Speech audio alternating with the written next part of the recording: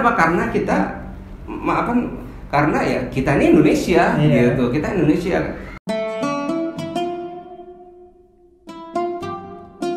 Assalamualaikum warahmatullahi taala wabarakatuh. Salam. Alhamdulillah eh, jeda ngobrol kali ini saya kedatangan tamu spesial lagi eh, salah seorang yang nggak perlu saya perkenalkan karena seharusnya saya yang memperkenalkan diri karena dia lebih terkenal dari saya. Ah, enggak juga. eh, enggak juga. Jadi, kalau saya memperkenalkan kayaknya wah sombong banget anda tidak lebih terkenal. Enggak juga. Justru antum lebih sering nongol di TV daripada anak. Nah, ada cuma nongol cuma di YouTube, YouTube, YouTube, YouTube nggak dipanggil panggil ke TV. Jadi eh, Usama, Ah. Usama Harbata yang Harbata. Eh, channel YouTube-nya Harbata di mana Anda bisa setelah tegang nonton channel Jeda Nulis bisa jeda dengan nonton channel Harbata biar nggak pusing. Biar nggak stres. Dan ini menunjukkan bahwa eh, orang Arab tidak selalu jadi ustadz atau tokoh agama. Anda lihat di sini ada keragaman. Iya. ada yang youtuber dengan konten yang seru-seru, yang lucu-lucu, komedi. Ada saya yang berdakwah tapi juga lucu. Dakwah Nah. milenial. Dakwah milenial. Nah, apa eh, sekarang ini kan kita syutingnya masih di bulan Agustus. Nah, 9 Agustus betul. Dan ini terus terang spesial banget buat saya karena ini syuting pertama setelah saya menikah. Alhamdulillah mendapatkan suatu apa kayak penghargaan gitu bisa syuting pertama setelah nikah loh. Kat- Katanya kan orang kalau menikah itu 40 hari masih dikelilingi malaikat. Iya bener, Jadi- doanya masih makbul loh katanya kalau saya habis nikah. doanya bebek. Jadi pokoknya siapa yang eh, komentar soal minta doa insya Allah saya secara tidak langsung udah aminin deh. Amin, Silakan amin, jadi komentar. amin, amin. nah, eh, kebetulan masih di bulan kemerdekaan. Betul. Nah, eh, kita ngomongnya karena memang asli keturunan Arab, jadi gak apa-apa ngomong aneh ente. Nah. Kalau anda yang orang Indonesia pribumi, eh, sebaiknya jangan ke Arab-Araban karena saya dan Usama yang Arab aja, yang keturunan Arab aja pengen ke Indonesia ke Indonesiaan. Iya, ini kalau saya lagi ngobrol ketemu sama apa sesama Arab ya gitu, anak ente anak ente. Kalau di luar gue lu gue lu. Gue lu, gue lu, makanya. Jadi, eh Anda sekarang ngundang Usama untuk ngobrolin tentang orang Arab dan nilai-nilai kebangsaan dan nasionalisme. Betul, Karena betul. kebetulan di bulan Agustus. Nah, betul. Nah, orang itu kan sering nganggap ini Anda nih pernah share di Hmm. Instagram sama di Twitter. Anda bilang gini, saya itu sering banget kalau naik ojek, Iya. kalau ketemu orang di mana pun sering banget ditanyakan, Mas orang Arab Arab ya? ya? Hmm. Iya. Mas orang Arab ya? Terus saya bilang bukan orang Indonesia. Wah orang Indonesia kok gini? Maksudnya kok mukanya Arab banget gitu. Sejak Eh. kapan Indonesia? Lah kata saya sejak Indonesia belum merdeka saya juga sudah orang Indonesia. Cuman keturunan aja Keturunan Arab. Arab, betul. Eh, Jadi eh, sering gitu juga? Sering. Jadi apa namanya kalau seandainya lagi jalan, jalan tuh kadang-kadang ya itu apa namanya eh, banyak yang nanya gitu. eh, Mas Arab ya gitu. Ya pingin jawab iya, ya emang iya sih. Tapi apa kadang selalu kita nggak pernah kalau apa kalau Usama sendiri nggak pernah ngomong iya orang Arab enggak, tapi selalu pasti jawabnya keturunan. Keturunan, iya, keturunan Gitu. Kenapa? Karena kita maafkan karena ya kita ini Indonesia Iya. gitu kita Indonesia keturunan keturunan Arab njit-njit kita emang banyak eh, dulunya orang Arab gitu tapi Iya. ya karena apa eh, dari apa kakek gitu segala udah lahir di Indonesia besar di Indonesia dan kita udah ngerasa bahwa kita adalah orang Indonesia gitu Iya. tapi keturunan Arab keturunan Arab keturunannya aja Betul. yang Arab jadi Hmm. eh, mungkin sebagian kita masih mempertahankan beberapa misalnya makanan Arab Betul. atau pakaian Arab Betul. sebatas karena menghormati nenek moyang Nenek kita moyang kita betul dan Ah. karena juga secara perut nih kalau kita belum makan daging nih kayaknya Belum, belum, belum merasa makan nih. Kalau belum kena kambing belum, belum kena kambing ya Jadi nggak bisa dipaksain sudah harus makannya kambing. Eh, jadi ingat waktu itu ada cerita apa namanya eh, kalau nggak salah di acara maulid nih. Eh, ada apa namanya eh, orang Indonesia nih makan. Ngikutin nama yang apa namanya orang-orang yang turunan Arab lainnya gitu makan kambing banyak gitu segala. Akhirnya terus kan nggak tahu darah tinggi nggak kuat pingsan dibawa ke dokter dokternya ngomong kamu kalau bukan orang Arab jangan makan kambing banyak-banyak Tapi itu emang emang fakta sih. Kalau kalau aneh misalnya, Eh. ya 20 30 tusuk sih sekali makan masih aman. Masih aman, Masih ya. aman. Karena memang sudah settingannya sudah, Sudah begitu. segitu, gitu. Artinya ya nggak bisa nggak bisa dirubah gitu. Tapi sesuatu yang memang sangat mendasar, eh, misalnya soal kecintaan kita pada Indonesia itu sudah sudah nggak bisa diragukan lagi. Oh, Betul, betul. Misalnya kalau seandainya pun apa namanya eh, apa negara butuh kita ya kita siap gitu. Iya. uh-uh. Nah, kemudian eh, saya tuh kalau di- ditanya sejak kapan kemudian jadi orang Indonesia, lah kata saya sejak Indonesia belum merdeka. Soalnya, Misalnya?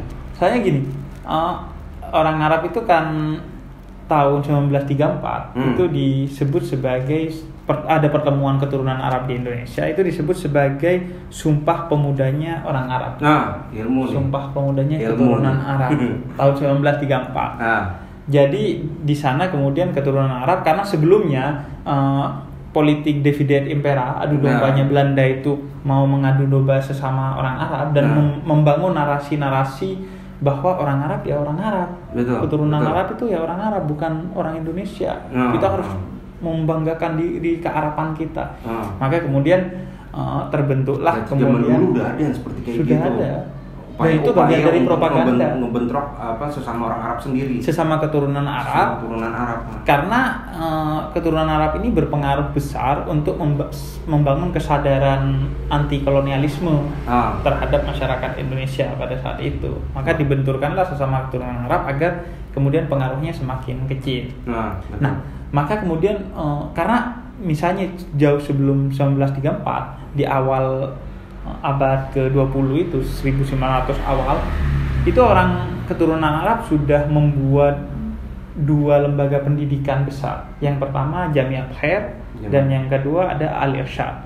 Ini dua lembaga pendidikan yang berpengaruh pada saat itu membangun kesadaran masyarakat untuk eh, meningkatkan kecintaannya pada Indonesia dan melepaskan dari kolonialisme pada Nah, saat itu. betul. Jadi Berarti karena itu andilnya ya. an- andilnya udah kuat. Ah, betul. Makanya kemudian 19 eh, kemudian co- coba diobrak-abrik sama Belanda dan akhirnya 1934 ya udah kita sumpah Hmm. bahwa kami orang-orang keturunan Arab adalah bertanah air Indonesia dan adalah orang Indonesia.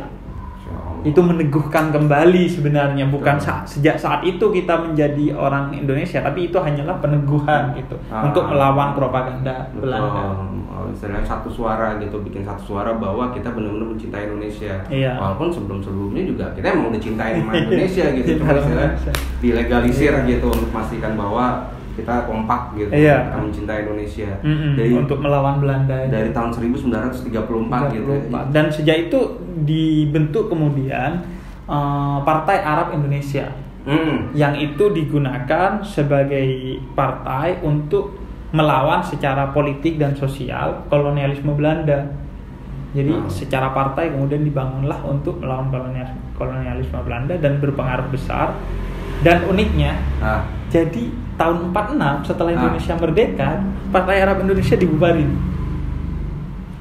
kenapa? Jadi dibubarin. Tadi pengen nanya, loh sekarang nggak ada gitu. Iya. Kenapa dibubarin tahun 46? Jadi karena eh, kesepakatan ketua pertamanya Air Baswedan, ketua Ah. keduanya Husin Alatas, Ah. mereka kemudian sepakat orang-orang Partai Arab Indonesia itu kita bikin partai ini buat memerdekakan Indonesia. Betul. Nah, setelah Indonesia merdeka, maka visi misinya udah selesai nih. Betul. Jadi kita bubarkan dan kita masuk bergabung dengan partai-partai yang ada di Indonesia, Indonesia. pada saat itu. Jadi jangan kita lagi berkomunal Wah, lagi. ber- ah, istilahnya mulai apa namanya udah mulai membaur lah membaur gitu. Ah. karena pada saat itu kita berkomunal lagi eh, tujuannya karena Belanda pada saat itu menghancurkan kita dari dalam, mengadu domba di antara kita. Maka dibutuhkan satu payung bersama untuk duduk bersama melawan eh, propaganda Belanda dan menyatukan kesepahaman.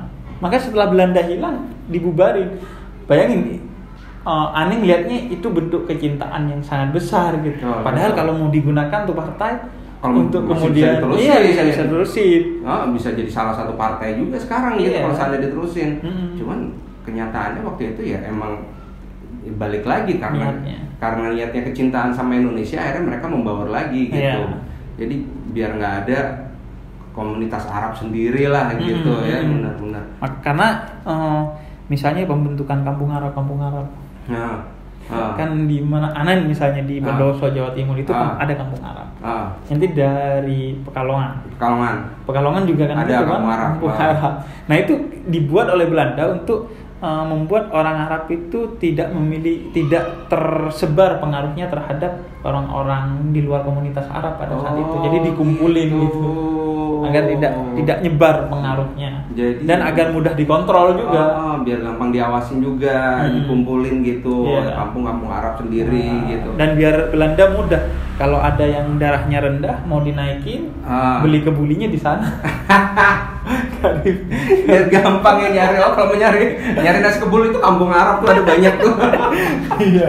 jadi jadi eh, dikumpulkan gitu bukan bukan bagus gitu. Jadi ketika Ah. partai itu mengumpulkan orang-orang Arab itu kemudian dianggap dibubarkan aja ketika Indonesia sudah merdeka. Oh, Makanya gitu. saya bilang tuh kalau ada orang Arab, orang keturunan Arab yang eh, tidak nasionalis, Ya.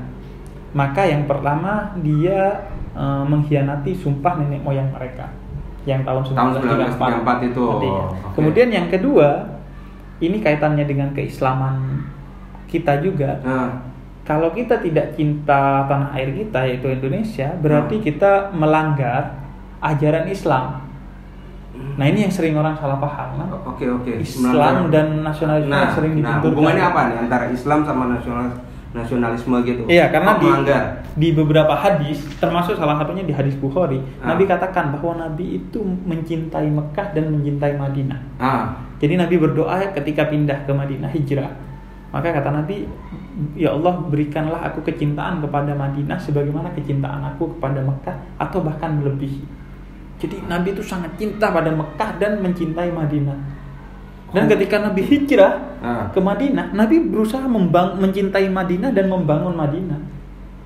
Bagaimana ketika kita uh, hijrah, Hijrah dari Hadromut, dari Yaman Hadromut, ke Yaman, sini, ah. kita mencintai sini dan berusaha untuk berkontribusi dalam pembangunan Indonesia. Oh iya betul. Jadi Anda kalau ada keturunan Arab yang tidak cinta Indonesia, Ah. itu berarti melanggar dua poin penting, melanggar Iya. nenek moyang Anda dan melanggar ajaran Islam. ajaran agama Islam Iya. sendiri kalau apa ada ada, ada apa namanya eh, pernah baca gitu eh, mencintai eh, tanah air itu sebagian daripada iman Hmm. nah itu gimana tuh Itu diktumnya Kiai Haji Hashim Asy'ari, Iya, ha, pendiri Kiai Haji, NU. Jadi eh, ketika NU mau menggerakkan masyarakat untuk melawan penjajahan Belanda Ah. melalui satu resolusi jihad pada saat itu, Ah. maka salah satu diktumnya adalah kecintaan pada tanah air adalah sebagian dari iman. Tuh, Iya. seperti di saat Nabi Muhammad mencintai Madinah Madinahnya. Karena kalau kalau kita gak mencintai tempat kita lahir atau tempat kita tinggal atau Ah. tempat kita mati, maka ya kita gak punya tempat gitu. Akhirnya mau beribadah gak bisa, Iya. mau ngapain nggak bisa. Makanya di Islam itu kecintaan pada tanah air menjadi sangat mendasar dan utama dan besar porsinya ditekankannya karena ya itu kalau gak ada tempatnya gimana gitu. Tapi ada upaya-upaya orang untuk tidak mencintai Indonesia maksudnya tanah air itu ada apa Iya, ada ada orang-orang yang menganggap oh kalau bangsa itu nggak ada urusannya, kita hanya berkhidmat pada agama. Gitu. nah nah itu Padahal agama nyuruh kita berkhidmat pada bangsa, Bangsa. gitu. Sehingga kemudian di- dibentur-benturkanlah antara eh, Islam dan nasionalisme, Betul. antara kalangan religius atau kalangan Islamis dengan Betul. kalangan eh, nasionalis. Padahal kata Syariati salah satu sosiolog Persia, dia bilang kata dia untuk menghancurkan sebuah bangsa maka imperialisme itu melak- menghancurkan dua poin utamanya, yaitu agama dan nasionalisme. Jadi kalau membenturkan agama dan nasionalisme ini strike ini, Ah, jadi ah, langsung ah. sekali pukul hancur Ah, dua ah. sebuah bangsa dan menyebabkan pintu masuk bagi penjajahan. Allah, jadi kalian masih pingin dijajah tuh, hah? Perusahaan dia masih mau ngadu-ngadu kayak gitu bentrokin agama. Dan lebih bahaya karena Iya. dijajah tapi nggak ngerasa dijajah, karena sudah merasa merdeka tapi tetap dijajah betul betul. secara tidak langsung gitu. Dan- dijajah oleh pikiran dan kita sendiri yang Iya. pinci. Dan kita tidak sadar gitu bahwa kita sendiri dijajah sama apa ya doktrin-doktrin yang seperti itu Kalau Iya. untuk apa namanya tidak mencintai tanah air Mm-mm. udah tuh terus eh, apa eh, cukup cukup eh, cuman apa eh, agama sebagai pegangan gitu Iya. nggak boleh hormat bendera. Gitu. kan Jadi emang kita eh, sebagai keturunan Arab deh kita coba cerita. nah Emang ini merasakan ada misalnya apa jid-jid kita kakek-kakek kita itu bilang oh hormat bendera itu nggak boleh begini. ah enggak kalau kakek dulu inget banget kakek itu pramuka juga dulu salah satu apa apa Ikut pramuka iya, gitu. ikut pramuka juga zaman dulu gitu Ah. terus dia yang menghormati bendera merah putih gitu di sebelah mananya gitu masih Justru ada? menurut kalau anda sih merasanya baru sekarang ngerasain gini. Dulu waktu SD itu setiap Senin upacara bendera. Padahal Ah. sekolah saya sekolah yang dibuat eh, lebih banyak di dalamnya yang sekolah di sana komunitas Arab, orang-orang keturunan Arab. Sekolah Al Khairiyah namanya.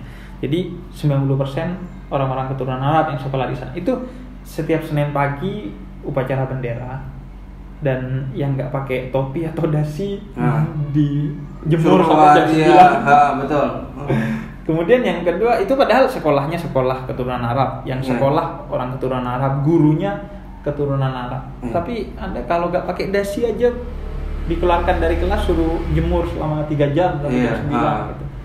Atau eh, i- kalau hari Rabu itu bahkan senam poco-poco, Ah. senam. SKJ gitu. dan nggak pernah mempermasalahkan kan Iya, jadi betul-betul gak ada imajinasi bahwa kebangsaan dan keislaman itu berbeda bahkan, apalagi dibenturkan ya itu betul-betul kita gak punya imajinasi. Itu baru sekarang saya dengar. ya mungkin dengan adanya dunia sosial media sekarang orang lebih gampang untuk memberikan doktrin-doktrin yang apa ya bisa lebih luas gitu. Iya. Ya mungkin mereka berpikir bahwa dengan menghormati bendera merah putih musyrik. Iya. Wah, gimana tuh? Iya, Nah, ya itu. Jadi eh, itu pikiran-pikiran